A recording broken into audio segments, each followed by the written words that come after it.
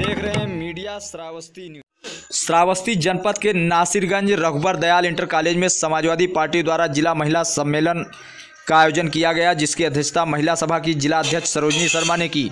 कार्यक्रम की मुख्य अतिथि लीलावती कुशवाहा, प्रदेश अध्यक्ष व जरीना उस्मानी, पूर्व महिला आयोग की अध्यक्ष रहीं। सर्वप्रथम मुख्य अतिथि को लोगों ने फूलमाला पहनाकर जोरदार स्वागत किया। कार्यक्रम को संबोधित करते हुए जिला महिला सभा के अध्यक्ष सरोजनी शर्मा ने कहा कि समाजवादी सरकार में चौमुखी विकास हुआ था। आम जन, गरीब, किसान, बेरोजगार सभी खुश थे। 2022 में अखिलेश यादव की सरकार बनाकर उनके हाथों को मज़बूत कीजिए। वहीं पूर्व विधायिका इंद्राणी वर्मा, दो सौ नवासी विधानसभा भिनगा ने कहा कि जरीना उस्मानी जब महिला आयोग की अध्यक्ष थी, तब महिलाओं को सशक्त करने का काम किया था। 2022 में अखिलेश यादव की सरकार बनने से कोई रोक नहीं सकता। महिलाओं पर कितनी बड़ी ज़िम्मेदारी है, इस बात को मैं समझती हूँ। घर में बच्चों को पालना पोसना सबसे बड़ी ज़िम्मेदारी है। सपा सरकार में चौमुखी विकास हुआ है। 2014 में जब अखिलेश यादव की सरकार बनी थी, तब हौसला पोषण मिशन लागू किया गया था और मोतीपुर कला गाँव को गोद भी लिया गया था।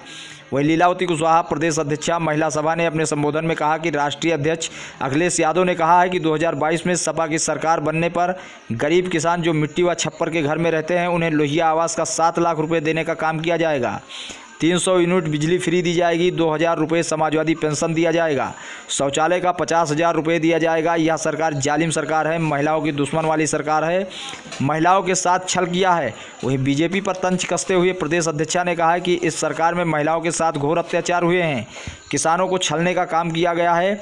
गरीब और भी गरीब हो गया है। बेरोजगारों को दो करोड़ नौकरी देने का वादा किया था। उसमें भी ये फेल हुए हैं। जरीना उस्मानी, पूर्व महिला आयोग की अध्यक्षा ने कहा है कि भाजपा की सरकार में महिलाओं का शोषण हुआ है। सरकार ने रसोई से स्वाद छीनने का काम किया है। सरसों का तेल इतना महँगा कर दिया है कि सब्जियों के दामों में आग लगी हुई है। जो गरीब की पहुँच से बाहर है, गैस का दाम आसमान छू रहा है। उन्होंने महिलाओं से 2022 में अखिलेश यादव की सरकार बनाने की अपील की है। वही एमएलसी प्रतिनिधि मिराज खान ने कार्यक्रम में आई हुई सभी महिलाओं का धन्यवाद ज्ञापित करते हुए कहा है कि देश में आधी जनसंख्या महिलाओं की है।